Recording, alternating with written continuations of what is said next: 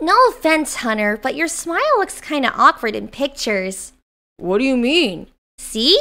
now that you mention it, yeah. Uh, to be fair, I rarely took pictures back in the boiling isle, and even when I did, I usually had my mask on. Your smile looks very genuine in my snapshots, though, Hunter. Hmm. Hmm, I wonder why. I guess it's because you like me the most, am I right? Mm. Phew. I'm just kidding. Or could it be. Phew.